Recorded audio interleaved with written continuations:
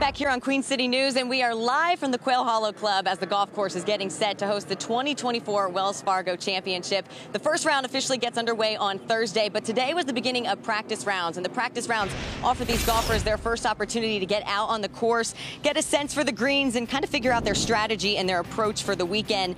And this year it was really important as the course saw a significant modification. Hole 16, which is a part of the course's renowned Green Mile, has been extended by 30 yards for this year's tournament. Hole 16 through 18 make up the Green Mile at Quail, which is statistically the hardest closing three holes on the PGA Tour. Here's what last year's runner-up Xander Schauffele said about the greens today.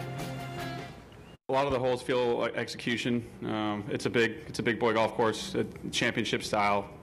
Uh, I've played it sort of overseed and uh, with Bermuda. It, it, plays very different both times. Um, this week with the rain, the fairways seem to be a lot softer than they normally are.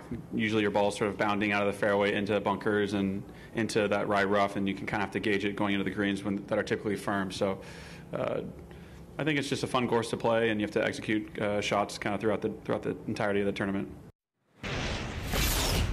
Guys, and we are already talking about high school football. Earlier today, we learned which high school football teams will participate in the high school football kickoff event that will be held later this fall at the American Memorial Legion Stadium. This event, now in, in its 11th year, will see Hough High School take on Rock Hill's Northwestern in the Carolinas Border War on Friday, August 23rd at 5 p.m. And then following that game, it'll be Ardrey Kell facing Providence, two of the top 4A programs in the Charlotte area going to be huge. You you got the first game of the season. Uh, you got probably the uh, one of the top rivals, uh, at least in the South Charlotte area. Um, and then not only you know is it the opener, but it's it's downtown and backdrop and an awesome stadium.